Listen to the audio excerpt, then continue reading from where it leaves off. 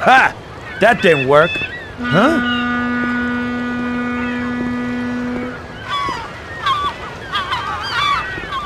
I don't know what you're trying, you bastard. My brother will kill you along with your whole family. Give it up.